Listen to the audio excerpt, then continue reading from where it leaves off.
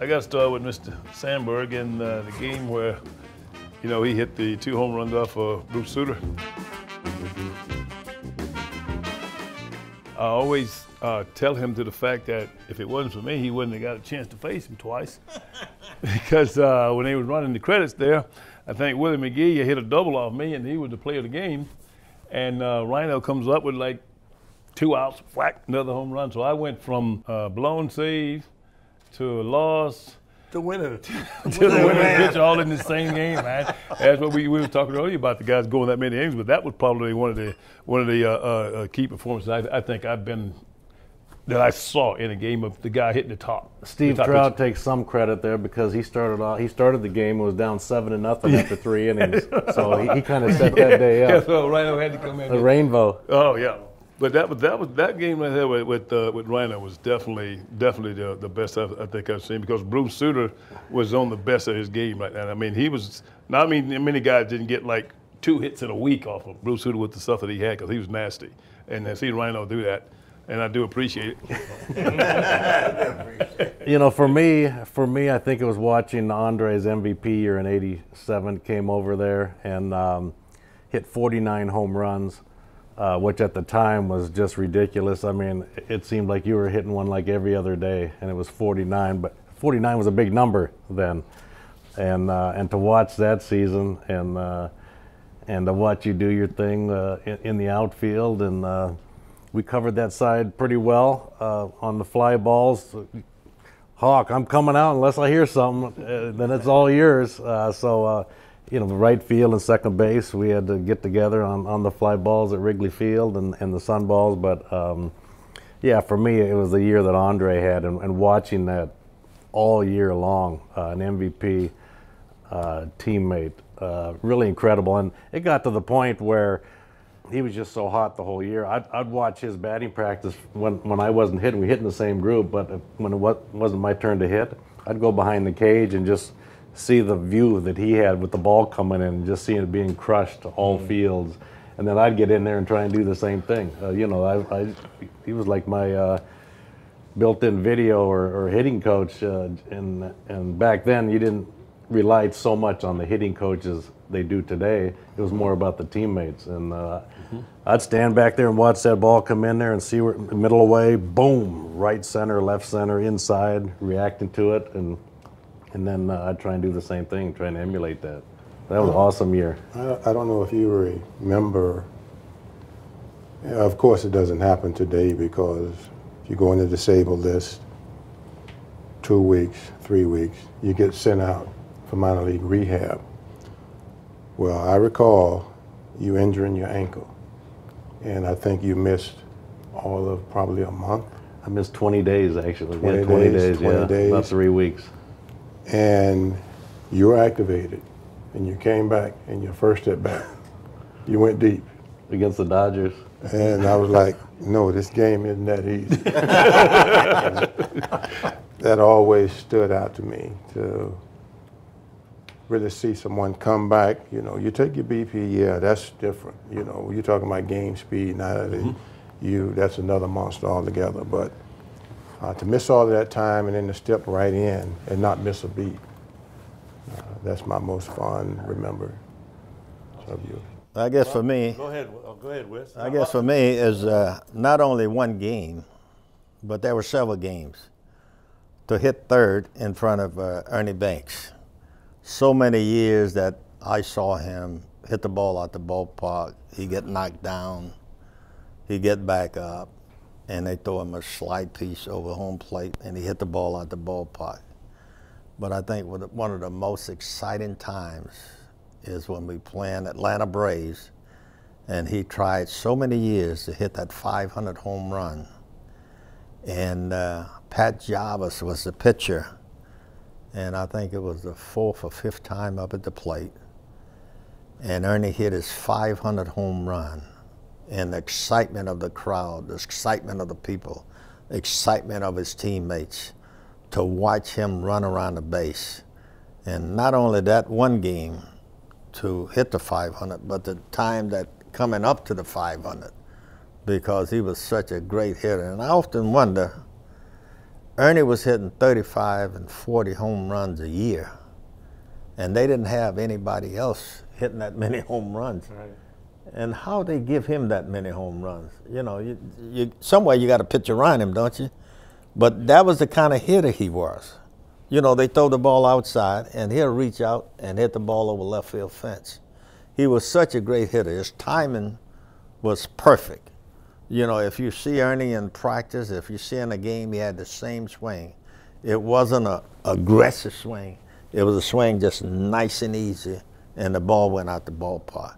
It was a joy to play for him, and it was good for me when I won the Rookie of the Year in 1961.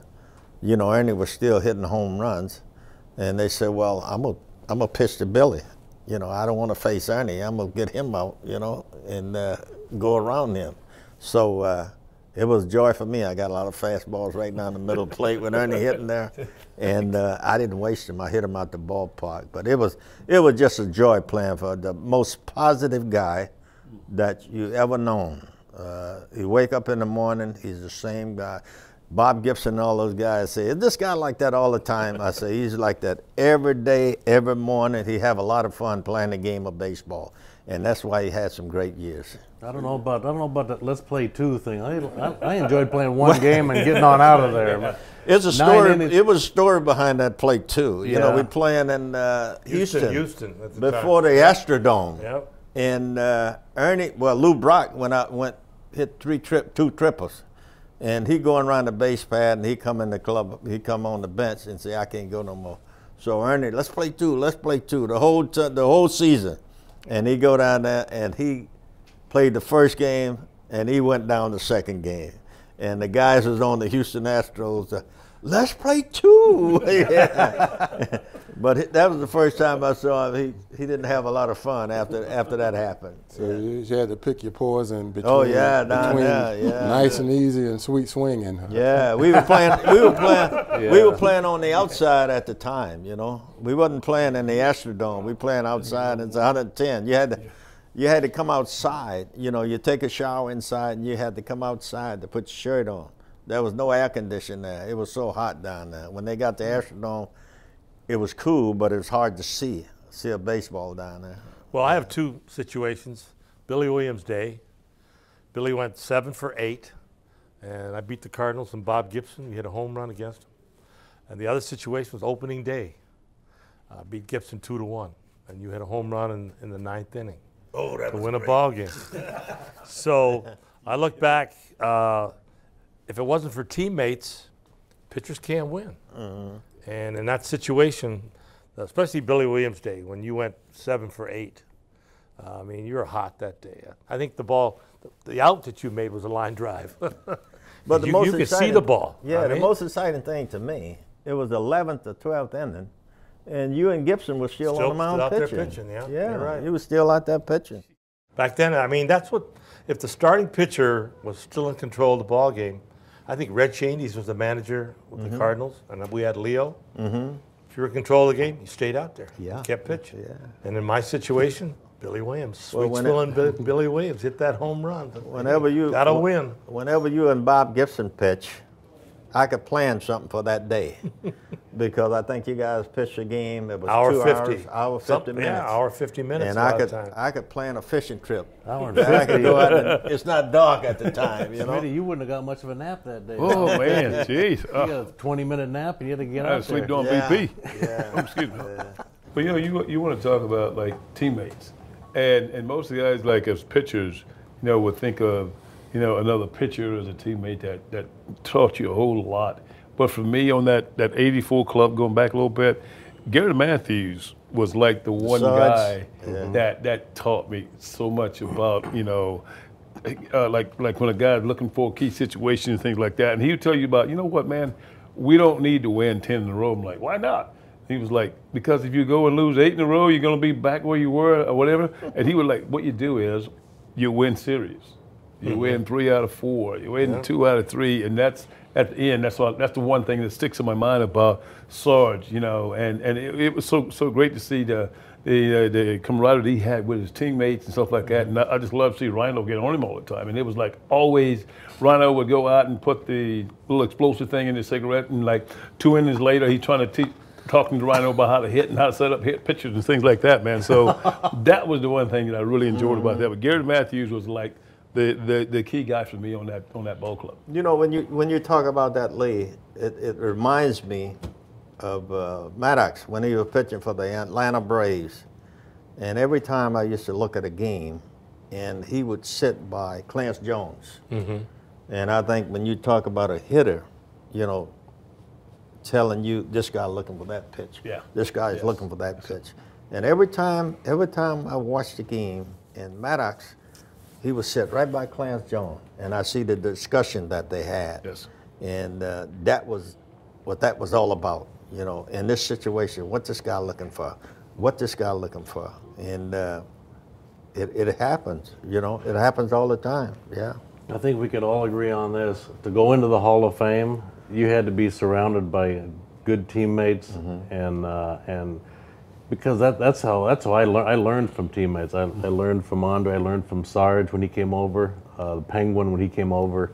As far as pitching and defense, Sutcliffe uh, was big. So uh, we can all say we had great teammates. Uh, we had fun together, uh, close knit group, and uh, and for me my memories of playing was was all about the teammates that I had, and, and Big Lee uh, was a tremendous teammate, and uh, and Andre as well.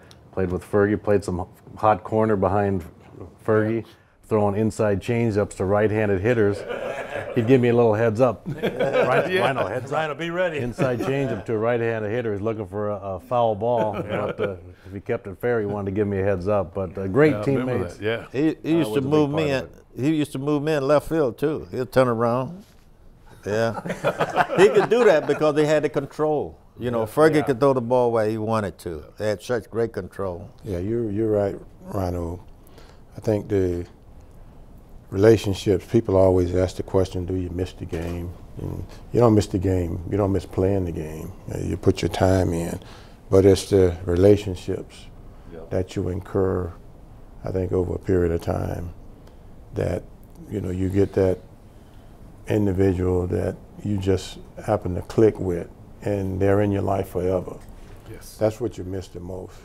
Yeah, you, you, that that gets a little bigger, but hey, it is what it is. It's it's you know it's the You nature. guys probably don't remember, Yosh Kawano used to hand us our pay envelopes. Yes. Now it's all direct deposit. Yeah, yeah. you was running around the whole team, Yeah. checks in his back I pocket. Yeah. go, and the, the first team would show up, hey, uh, yo, you got my envelope there? Oh, yeah, we got the, but you got your dues on there too. Uh, you got a little note what you Yeah, want. Yeah. yeah, see, that's Yeah. awesome, man. Three dollars for a Think about it. sanitary side. Oh, yeah. Yosh Kawano. Oh, God. After him, they that broke was the the mold. fun part of playing. Oh, yes. yeah. Little things. Yeah.